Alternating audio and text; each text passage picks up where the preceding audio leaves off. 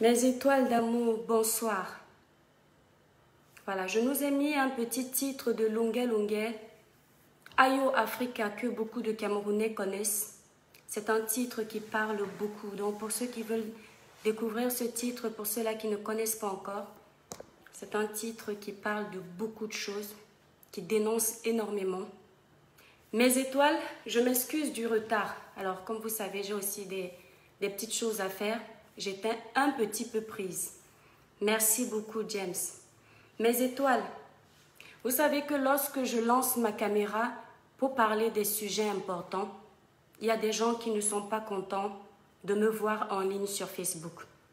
Alors je vous supplie, mes étoiles d'amour, je vous supplie de libérer massivement les cœurs pour protéger ce direct. Et je vais également, si les cœurs ne suffisent pas, je vais également épingler mon compte de mon lien YouTube. Parce que si, vous, si les dictateurs bloquent cette page, je vais continuer mon direct sur YouTube, même avec 10 personnes. Je vais faire parler de mon message. Et ce message-là ira loin. Parce qu'il faut que ce message se fasse entendre. Mes étoiles, j'ai besoin de vous. C'est un sujet primordial. C'est un sujet qui concerne les Africains, c'est un sujet qui concerne les Camerounais. C'est un sujet qui concerne le noir. Soyons solidaires. Vous connaissez la maxime de notre page. Je ne viens chercher les problèmes à personne. Je ne viens mépriser personne. Je viens donner mon avis. Donc, on bloque cette page.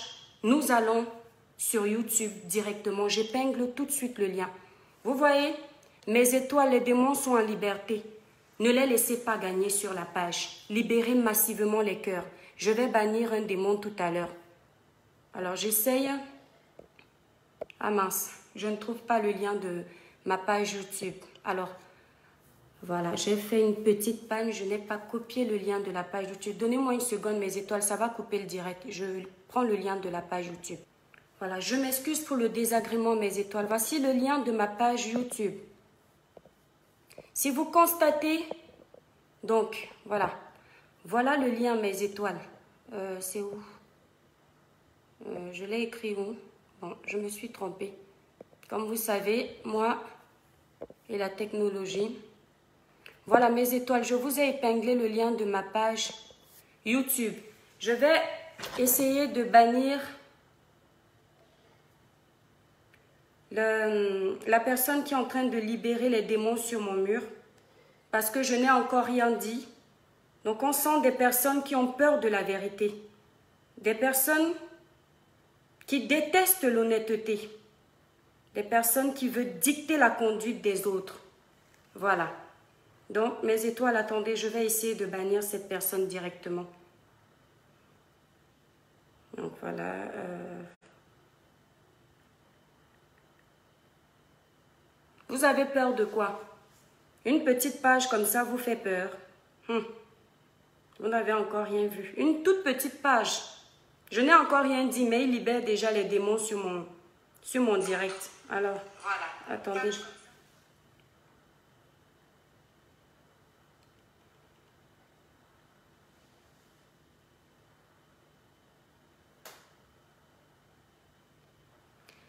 Voilà, mes étoiles d'amour. Vous avez le lien de mon compte YouTube. Si ça coupe sur Facebook, allez directement sur ma, page YouTube. Abonnez-vous et on va faire le direct dessus. Voilà, je ne peux pas passer mon temps à essayer de, de bloquer les démons qui sont en train de s'agiter sur ma page, qui n'ont même pas encore compris ce que je souhaite dire. Dans mes étoiles, je vous prie de nous partager le direct, partager massivement ce direct. C'est très important. Amen. Merci Chantal. Bonsoir mes étoiles. Alors, pour ceux qui ne sont pas au courant de ce direct, j'avais annoncé ce direct pour samedi et malheureusement je serai occupée samedi à cette heure-là et je me suis dit je ferai ce direct aujourd'hui. Je fais ce direct, mes chers abonnés, mes compatriotes, parce que le problème actuel concerne tous les Camerounais. Ce n'est pas un direct de conflit. Ce n'est pas un direct de clash. Ce n'est pas un direct pour déstabiliser une personne. C'est un direct pour apporter ma pierre à l'édifice.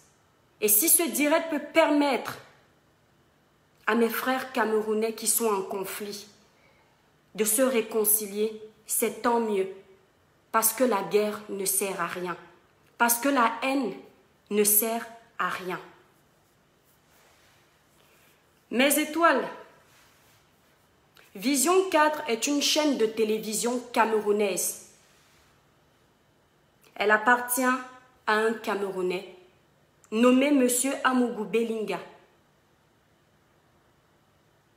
Si je me trompe, vous me dites. Ces chaînes de télévision fait polémique en ce moment parce que elle s'en est prise à un compatriote lors d'un reportage que normalement j'aimerais vous montrer, mais je crains que ça nous fasse prendre trop de temps. Ceux qui ont vu le reportage libérer massivement les cœurs, je vais sans doute poster le reportage sur ma page pour que vous puissiez regarder ce reportage. Mais bon, ce n'est pas grave. Le reportage en question dénigre un frère camerounais, humilie la communauté noire et ça fait très mal au cœur. Parce que lorsqu'une chaîne de télévision se rabaisse au niveau de Vision 4, c'est une humiliation pour le pays. Une chaîne de télévision est la vitrine d'un pays. Une chaîne de télévision ne fait pas de règlement de compte dans sa chaîne, de compte personnel. Et c'est ce que Vision 4 a fait. Je conçois que M. J.P. Remingono ait des petits soucis avec vous, que vous ayez des divergences d'opinion. Je peux accepter que c'est un retour de balle je vous l'accorde. Mais lorsque votre retour de balle mélange toute une communauté, tout un continent, tout un pays, en tant que Camerounaise, je n'apprécie pas. En tant que page de dénonciation, je me dois de vous dire que vous avez fauté. Je me dois de vous dire que les Camerounais ne sont pas contents. Je me dois de vous dire en tant que noir, vous, vous comparez un noir à un singe. Venant de vous, ça fait mal. Ça fait très mal. J'ai pu me rendre compte lors de ce reportage que la, chaîne Vision 4 est très forte dans les investigations. Mais il y a une chose que je ne comprends pas. Le 8 avril 2021, en Côte d'Ivoire, une jeune fille a été victime de viol. Son agresseur l'a dopée, c'est-à-dire il l'a fait consommer de la drogue, il l'a frappée, il l'a violée. Alerté par les cris de cette fille en détresse, les voisins sont sortis, lui apporter secours. Malheureusement, ils l'ont conduite à l'hôpital. Elle a rendu l'âme parce qu'il était un petit peu trop tard. Retenez les dates. On parle du 8 avril 2021. Le 21 avril 2021, les forces de l'ordre ont interpellé un jeune homme qui était accusé d'avoir violé la jeune dame. La jeune dame, j'ai oublié de vous dire, a rencontré cet homme dans les réseaux sociaux. Elle ne le connaissait pas avant. C'était un premier rendez-vous. Alors ils ont interpellé, la, police ivoirienne a interpellé un individu qui était soupçonné d'avoir violé cette fille, de l'avoir dopée et de l'avoir violentée au point de l'avoir amenée à la mort. À ce jour, le 23 avril 2021,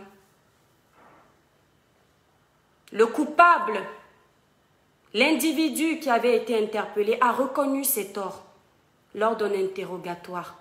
Il a reconnu tout ce qui lui était reproché. Et à ce jour, le 23 avril, cet individu est en prison. Il ne pourra plus faire du mal à quelqu'un.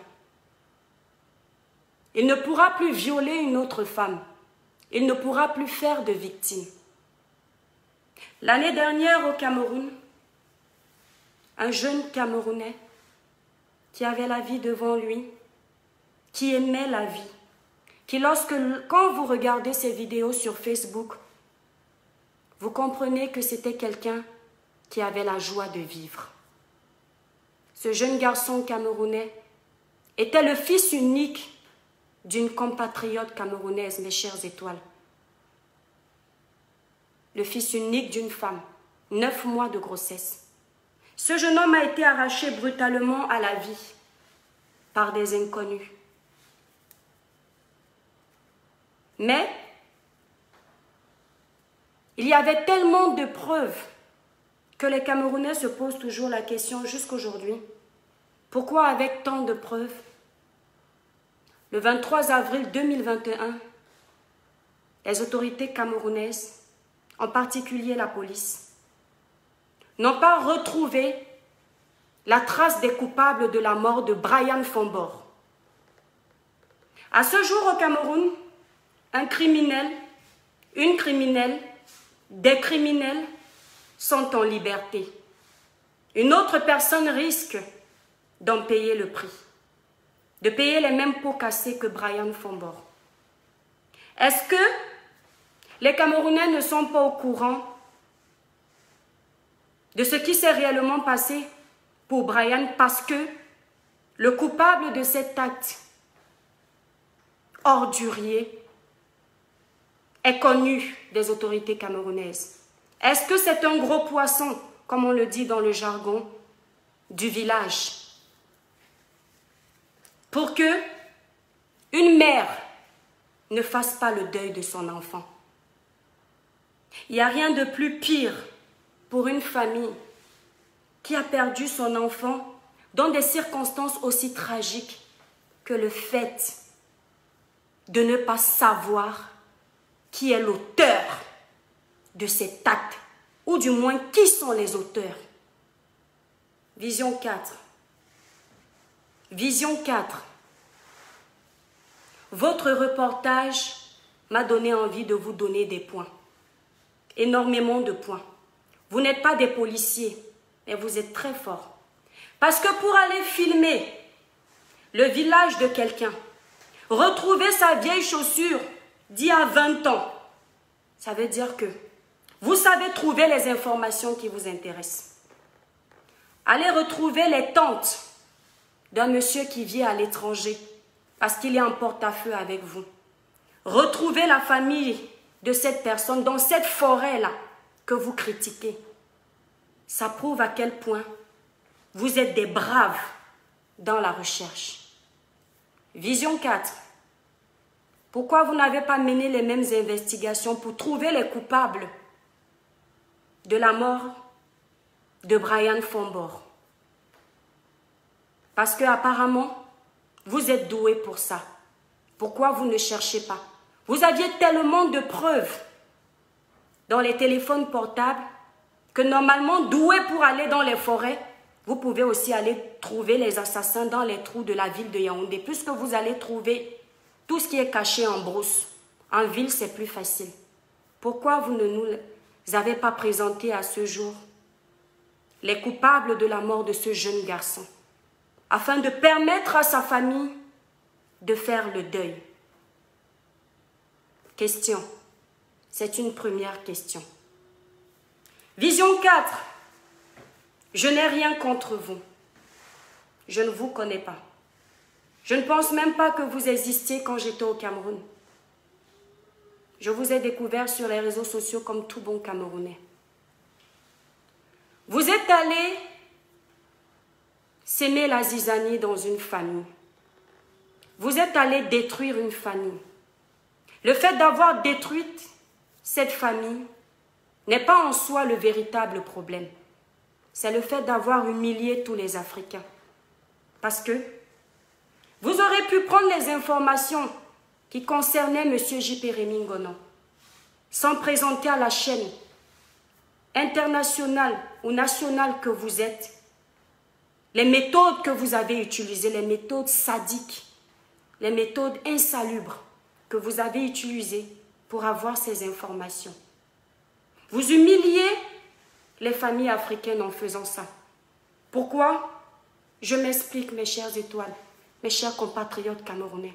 Ne voyez pas en ma démarche une envie de faire un buzz, une envie de détruire, une envie de séparer. Non, c'est le cœur d'une compatriote meurtrie qui s'exprime. L'Européen raciste, je parle ici de l'Européen raciste. L'Européen raciste a toujours considéré le noir, la peau noire, comme étant une peau à mépriser, comme étant des êtres, des sous-êtres. À l'époque de la traite négrière, il se passait la même chose. Certains de nos ancêtres, certains de nos combattants, certains de nos grands hommes du pays allaient livrer des secrets en échange de présents. Cette époque est abolie, la traite négrière est terminée. Aujourd'hui, la chaîne Vision 4 montre à l'international qu'il y a encore des traîtres dans nos familles. Qu'il y a encore des personnes qui peuvent livrer nos terres pour une bouteille de bière, pour un verre de matango. Une tante, un oncle, un village a livré leur enfant. Ça, c'est Vision 4 qui montre cette image. Et nous l'avons vu, cette image. Ça fait mal au cœur. Ça fait saigner. Mes étoiles d'amour, partagez-nous ce direct. C'est très important. Vous les familles africaines, vous les villageois là, les villageois que j'ai vu parler là, dans la vidéo, avec tout le respect que je dois à cette tante, à cet oncle qui me paraissait bien âgé, je vais quand même me permettre de vous dire que vous êtes des traîtres. Vous les familles africaines, vous les gens de ce village-là, à part voyager dans la nuit pour aller voler l'intelligence de vos enfants, vous servez à quoi? À part détruire les cerveaux de vos villages, vous servez à quoi? La seule qualité que vous, les villageois, là, vous avez, c'est de faire la sorcellerie africaine. Vous avez passé toutes vos vies à manger mystiquement vos enfants. Lorsqu'il y en a un comme M. J. Rémingono qui s'en est sorti, au lieu de l'élever, vous le rabaissez.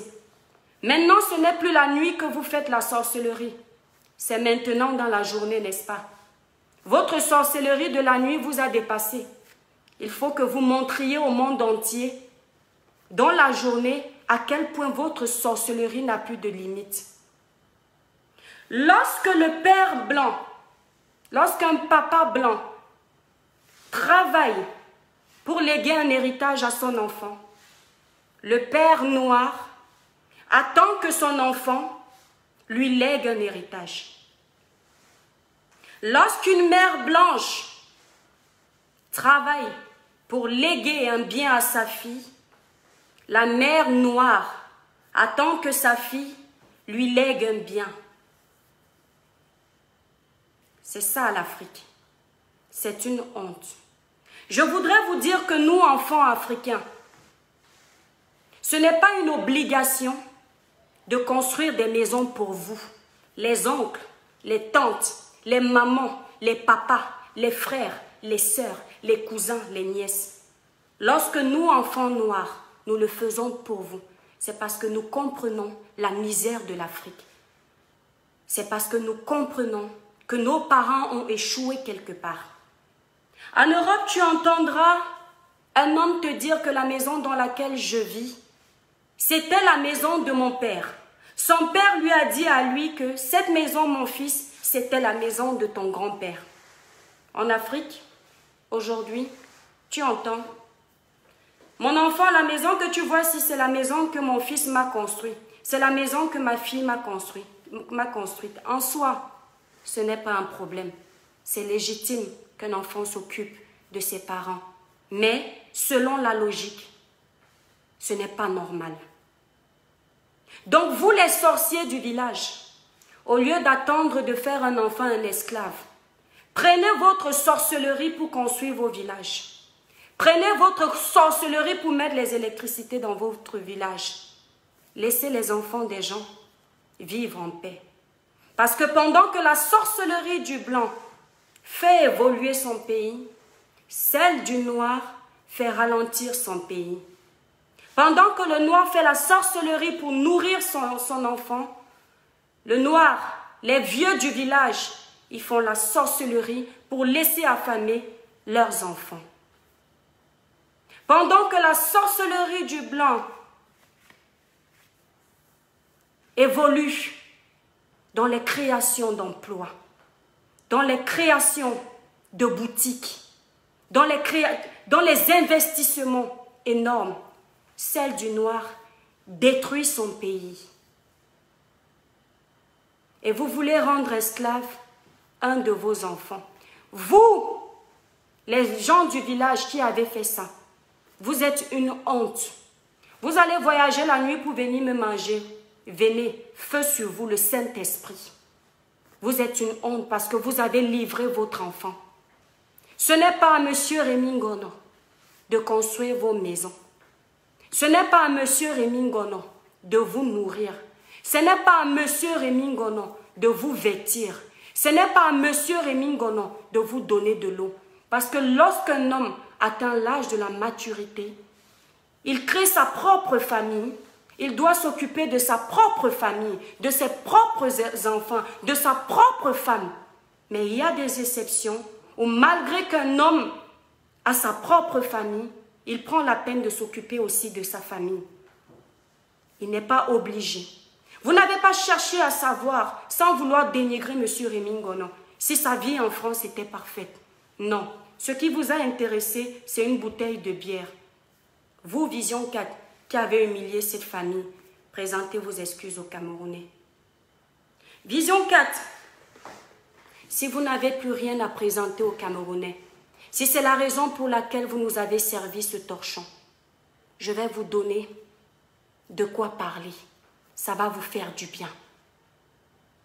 Allez filmer l'axe lourd Douala Yaoundé, où les soulards camerounais, les chauffeurs de poids lourds inconscients roulent à vive allure sur des routes complètement saccadées depuis des années des routes qui n'ont jamais été réaménagées. Filmez, faites un reportage dessus pour interpeller le gouvernement. Ça, ça va servir à votre chaîne de télévision. Allez filmer Yaoundé, Douala, Bafoussam, Edea, Kribi, Limbe, toutes les villes du Cameroun, la nuit dans le noir, sans électricité, des jours et des jours, sans électricité. Filmer ces villes dans le noir, où les enfants sont privés d'éducation, où les enfants ne peuvent plus étudier parce qu'ils sont dans le noir. Faites un reportage dessus pour interpeller le gouvernement. Allez filmer les centres d'hôpitaux. Un manque de personnel médical. Et lorsqu'il y a du personnel médical, ce sont des infirmières corrompues, impolies, mal élevées, sauvages, qui s'en foutent royalement de la vie de leurs patients. Elles en ont rien à foutre. Tu es complètement mourant. Quand elles te reçoivent, elles t'accueillent. La première des choses, c'est de te demander d'acheter un carnet de santé. En second, c'est de te demander d'acheter les médicaments, alors qu'on n'a même pas encore fait le diagnostic de ta santé. Montrez également le manque de médecins, des médecins corrompus, des médecins escrocs, des médecins qui ne respectent pas leur engagement, celui de sauver les vies. Leur serment d'Hippocrate ne leur sert à rien. À cause de la recherche de l'argent, à cause de la gourmandise du matériel, ils se sont ouverts des cabinets privés où seul le Camerounais qui vit dans le luxe peut se permettre d'avoir un suivi médical. Filmer Faites un reportage dessus pour interpeller les consciences, pour interpeller le gouvernement. Allez filmer le nombre de Camerounais qui attendent dans les bureaux administratifs, qui attendent leur passeport depuis des années. Filmez les Camerounais qui attendent leur pièce d'identité. Son pièce d'identité, c'est l'économie d'un pays qui est au ralenti. Parce que lorsqu'un père, lorsqu'une mère veut aller se battre, veut sortir le matin, elle a besoin de sa pièce d'identité. Lorsque un compatriote, un citoyen veut aller à l'étranger, même pour faire un commerce, il a besoin de son passeport. Vous leur privez de ça. Vous privez aux Camerounais leur liberté de se déplacer comme ils veulent. Lorsqu'ils se font attraper par un policier corrompu et qu'ils expliquent la situation, au lieu qu'on compatisse à leurs pleurs, le policier les arnaque. Pourtant, le Camerounais a la preuve qu'il a déposé sa demande de pièce d'identité, son passeport, mais même le policier ne le laisse pas partir, il faut qu'il paye. Filmez, faites un reportage dessus pour interpeller le gouvernement parce que c'est important. Allez filmer les Bayam Selam dans les marchés qui se font humilier, qui se font insulter, qui travaillent dans la pluie, qui travaillent dans le soleil. Peu importe le temps qu'il fait, elles sont là, matin, midi, soir, parce que ce, sont des mères battantes qui veulent donner à manger à leurs enfants. Dans un pays où le SMIC est seulement à 32 000. Et lorsqu'elles se sont battues pour trouver un étalage dans le marché, les forces de l'ordre camerounais, oui, s'attaquent à ces pauvres vendeuses. On, les chasse de leur étalage. Une maman qui a fait des kilomètres pour aller chercher son manioc, une maman qui a fait des kilomètres pour aller chercher son maïs. Une maman qui a fait des kilomètres pour aller chercher ses arachides. Une maman qui a fait des kilomètres pour aller chercher ses prunes. Une maman qui a fait des kilomètres pour aller chercher son piment. Elle, elle se lève le matin à 5 heures du matin. Elle trouve sa petite place où elle peut vendre pour nourrir ses enfants. La police vient les dégager de là comme si c'était des vulgaires chaussettes. Le prétexte de la police, c'est que cet endroit-là n'est pas prévu pour vendre. Si l'État camerounais avait prévu des étalages adéquats pour ses vendeurs, avait prévu des étalages adéquats pour ses vendeuses. Ces femmes-là, ces mères-là, ces tantes-là, ces oncles-là, ces messieurs-là ne seraient pas sur la voie publique. Faites un reportage dessus pour interpeller le gouvernement.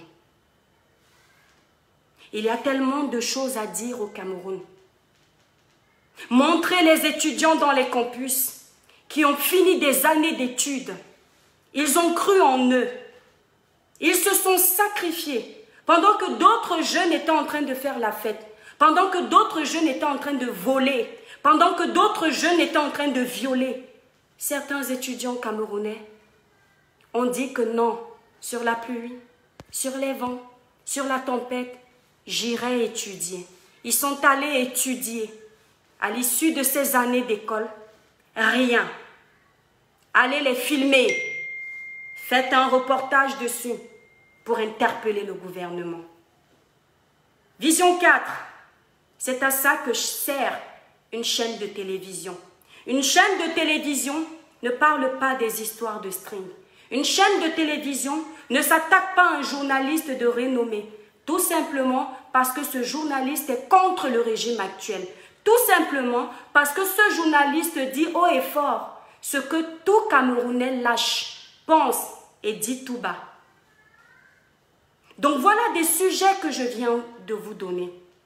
Pensez-y et arrêtez de nous servir ce ramassis de potage que vous nous avez servi. C'est vraiment désastreux. C'est humiliant pour le Cameroun. Très humiliant. Monsieur le directeur général de la chaîne Vision 4, Monsieur, je ne vous connais pas, mais je sais que vous pouvez être un père, je sais que vous pouvez être un grand frère. C'est pourquoi je vais vous parler avec beaucoup de respect. Lorsqu'on ouvre une chaîne de télévision comme vous l'avez fait, c'est parce qu'on a des ambitions. Une chaîne de télévision ne s'ouvre pas avec 10 francs. Vous avez mis des millions là-dessus, ou alors des milliards. Quand on fait un investissement, on attend qu'il rapporte. Votre investissement, il ne peut vous rapporter à long terme si vous avez des journalistes comme ceux qui nous ont servi ce que nous avons vu sur la toile. Monsieur le directeur général de la chaîne Vision 4, faites attention à vous. Et je vais vous dire que dans des pays développés, comme la Côte d'Ivoire, à partir d'aujourd'hui, je ne compare plus l'Afrique avec l'Europe. Je vais comparer un pays d'Afrique avec un pays d'Afrique. Parce qu'il y en a marre de vous entendre dire que l'Europe, c'est l'Europe. Dans un pays développé comme la Côte d'Ivoire, dans un pays développé comme le Ghana, dans un pays développé comme le Nigeria, à l'heure où je parle, ces journalistes qui se sont amusés à comparer un journaliste de renommée comme M. Rémy Ngono, un singe, à l'heure où je parle, ils auraient une mise à pied. Et dans les pays les plus rigoureux, ils seraient licenciés. À moins que vous ne soyez de connivence avec cet acte crapuleux. crapuleux. En ce moment-là, monsieur le directeur général, j'appelle à la vigilance camerounaise. J'appelle mes frères et sœurs. J'appelle le président de la République de donner une mise à pied à votre chaîne de télévision. Pendant six mois, vous ne devriez plus exercer. Si vous étiez au courant de ce torchon qu'on nous a servi. Et même dans les pays normaux, votre chaîne de télévision doit fermer. Mais je veux bien croire que vous n'étiez pas au courant. Alors si vous n'étiez pas au courant, présentez des vraies excuses aux Camerounais. Je ne veux pas entendre que monsieur, monsieur Ngono a l'habitude de faire ci, a l'habitude de faire ça. Vos règlements de compte personnels ne se font pas dans une chaîne de télévision. Une chaîne de télévision sert à divulguer des informations qui vont servir aux citoyens.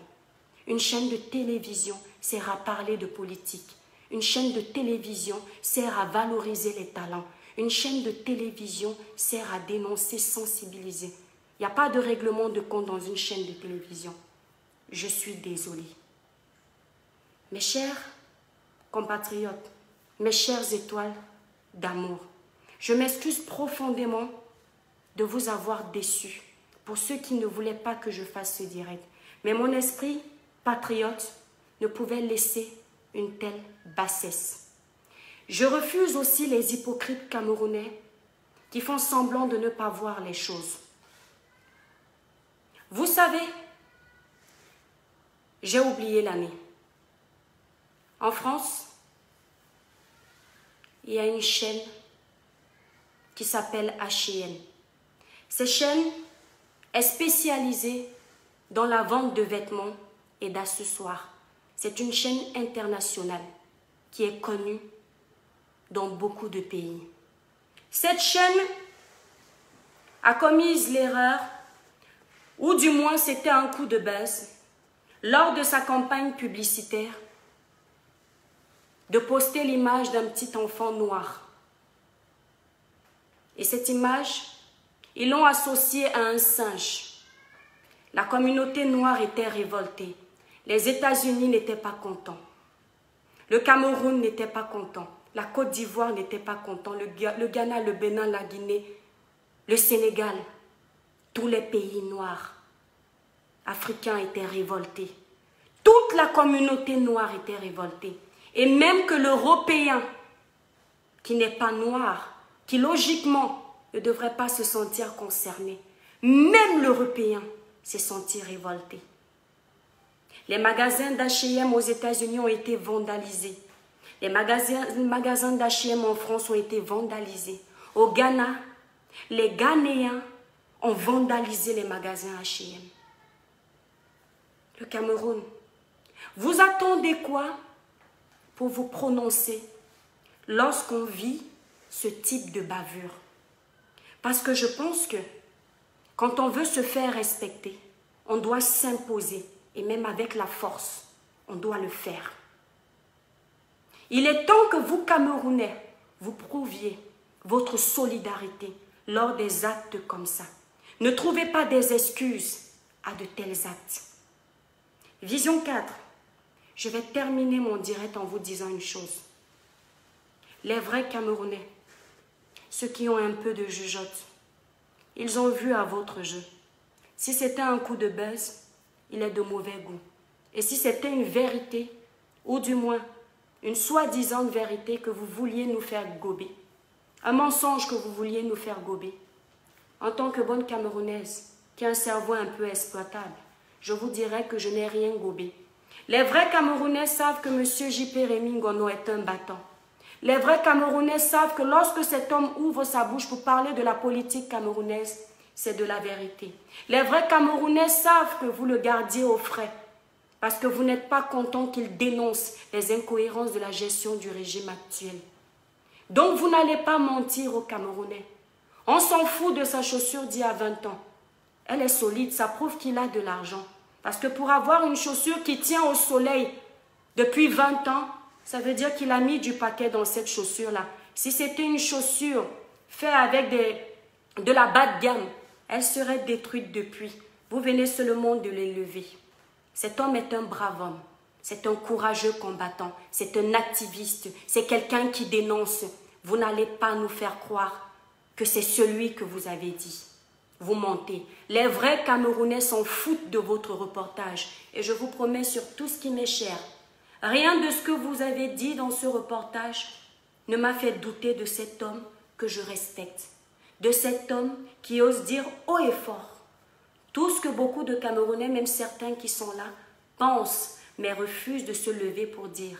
Monsieur Rémy Ngono a mon respect. Monsieur Rémy Ngono a le respect de beaucoup de Camerounais. Vous n'allez pas changer ça. En revanche, vous avez perdu toute crédibilité.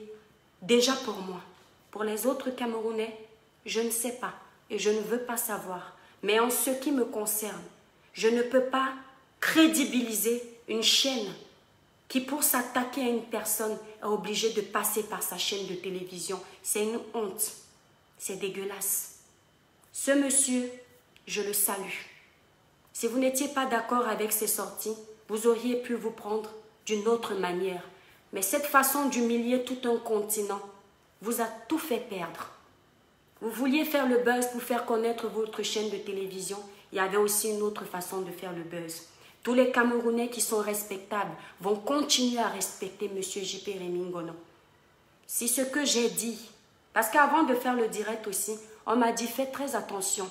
Vu que tu t'attaques à une chaîne de télévision très connue, c'est le pouvoir du Cameroun là-bas. Ils vont fouiller dans ta vie. Et ce n'est pas la première fois qu'on me le dit. Vous n'avez pas encore compris qu'on ne m'influence pas avec ça. Je préfère que lorsque je vais aborder un sujet sur ma page, que vous veniez me dire l'étoile laisse c'est trop bas pour toi.